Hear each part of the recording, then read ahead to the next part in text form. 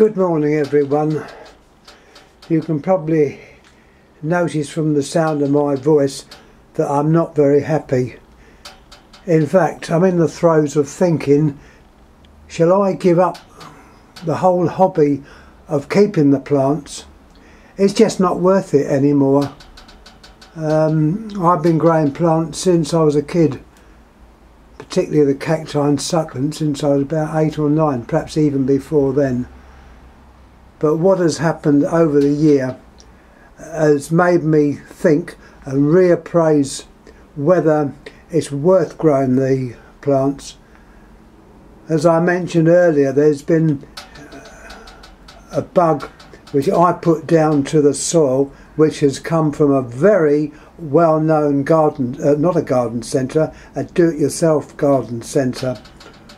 Probably one of the one of the uh, biggest ones in England, um, and I put it down to the fact, and other people have supported me on this, that the John Innes compost has been added to with garden rubbish taken from the council tips. Well, what has happened with me, as I've said before, you just get these flecks of white there's some on there. There's flecks of white. Flecks of white. Flecks of white. Flecks of white. On my Cheiridopsis peculiaris, which used to be beautiful plants, they're all dying. They're all dying they will just be taken and put into the compost bin. They're dead. There's lithops dying. I've lost any any enthusiasm as far as I'm concerned. Uh, I'm will probably stop growing the plants. There's just not the enthusiasm now.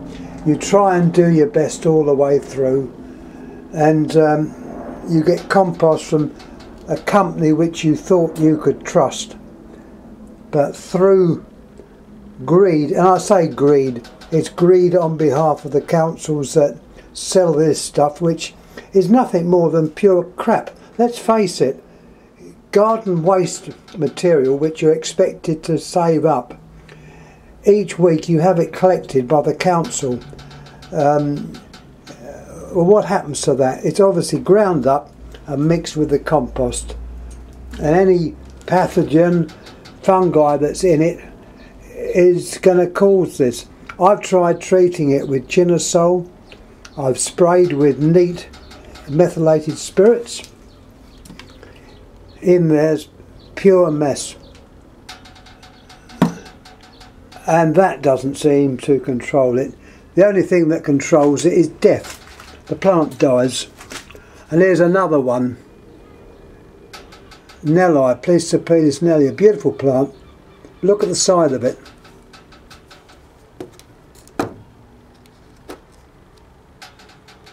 Can you imagine in the start of the year this area was full of plants. Not anymore. They've been given to the tip, the garbage tip. There's another plant here, slowly dying. It will die, thanks to this compost. More lithops, more white.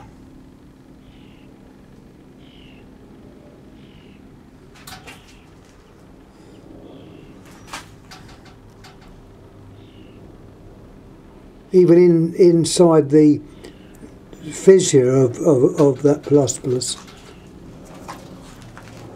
It just makes me feel that I've had enough.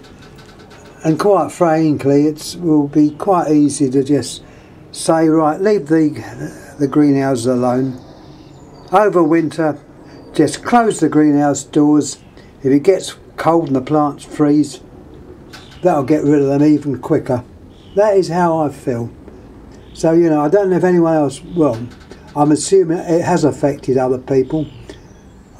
surely I'm not the only person that bought the one bag of, well, one bag or so of, of dodgy soil.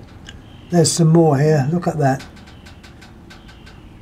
The reason I know it's the compost is it only affected plants that have been grown in this particular soil. I went to the our branch last night and they mentioned there that um, there is a lot of dodgy soil. Someone there did mention a good brand of soil, which I believe is only available through uh, their allotment association. But how soon is it going to be before they get on the bandwagon and use what I'd call crap? There's no other word for it but pure unadulterated crap. I might sound rude, but I feel rude. I could use stronger words than crap actually.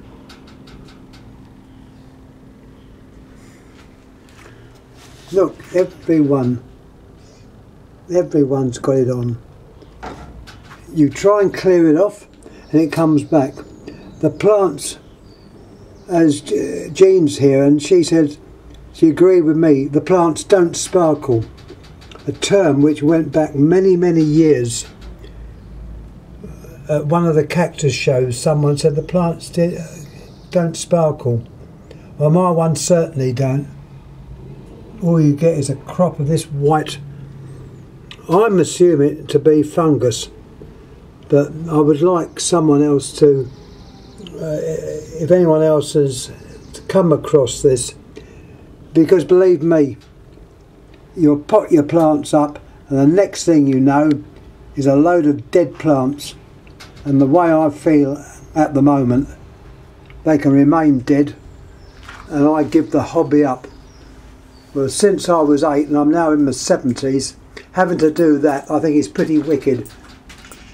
And I blame it purely and simply on this country the need or the greed of people getting money there's no thought for the general public as long as they get their money. And that is the way, as far as I'm concerned, the country's gone. I'm not entirely British, I'm half Canadian. And I'll tell you now, if I could have got over and lived in Canada, I would, but I'm too old at 70. I feel that this uh, country has let me down. We're now heading towards Brexit, which, as far as I'm concerned, is the worst thing we've ever done. Big business, what business we own, and it's not many, it's all companies that are owned by foreign owners. They will leave the country and I say the it'll be like a ship without a rudder. Things don't look good. You look at the crime rate, how that's gone up. It's not even safe to walk down the road now. You get a blinking knife stuck in you, your back or front, depending. It's a happy place. I don't think years ago, I was talking to uh, a police a policeman lived next door when I was a kid. He was in the uh, the flying squad, or the Sweeney Todd as they used to be called. And I remember him telling me when I was a kid, I was virtually not exactly sitting on his lap, but I was quite young. And he turned round to me and said, "Any time the country is having problems with either crime rate or murders or stuff like that, the first thing they would do is increase the police to counteract anything. Well, do they do that now? The opposite. Anyhow, I'm going to put this up. Um, any comments would, would be more than welcome. I'll end with the brighter side of things they're not looking too bad. They're not, you know, say these are plants which were they're different species of plants. It's mainly on the mes on, on the mesembs that are causing this. But this is the nice side thing. I've showed this before, and also in here, the the caudiciforms seem to be doing well. It might be that I shall end end up dumping all the mesembs and uh, just keep a few cacti, a few caudiciforms. I just don't know. At the moment, I do feel I won't swear by saying pissed off, but that is exactly how I feel. Um, if I've offended anyone by a little bit of stronger language, I do apologise, but that is how I feel. I feel that I've been let down, and that is what's happened. A hobby I've had for a lifetime, and looks like all this stuff you see now will probably end up on the compost heap.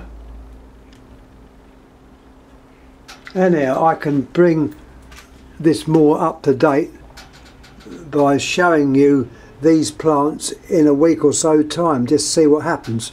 I've treated them with what I think controls it. I've tried chinosol I've tried pure methylated spirits without much luck I, uh, I would say so anyhow, I've said my pieces. Um, credit goes to a Mr. Crapper, where we get the word crap from, who invented a flushing toilet many years ago. So I'm not being rude, I'm just using a word which is derived from Thomas Crapper. And in fact, their toilets, I believe, are still available and still excellent toilets. So anyhow, thanks again. Any comments would be most welcome. I hope I haven't offended any, anyone. I do feel very strong about this. Um, I feel let down. And um, that is how, how I feel. So any comments, please leave. And I'm going to get this up uh, online. Thanks again for watching. I may be more happy next time. I doubt it, but you never know. At least it's not affecting all the plants. But I'm definitely, uh, you know, I'm thinking, uh, do I give up? One bright spark in the whole affair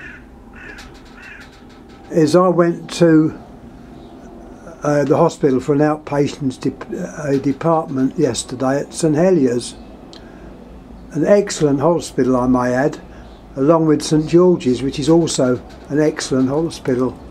Um, anyhow, when I came out of the hospital, I had to cross the road to get a bus. And there's a green there. I don't know if anyone knows the area, but um, you've got the hospital and across the road you've got like a, a playing field or an open space. Anyhow, I looked across there and lo and behold, I saw a boot sale. I didn't go to it because it was all it was Wednesday and virtually about to close. I think they're only on a half day. And I looked at it, I thought, God, I recognise some of the the the heavy lorries on that from Wimbledon boot sale. So I thought, well, is it a boot sale to take over from Wimbledon? Well, anyhow, cut a long story short, I rang the organisers up, and it looks like they have taken over from Wimbledon. So this Saturday, if the weather's nice, I might cheer myself up by going and having a look round the boot sale. So they did have one good thing in the day.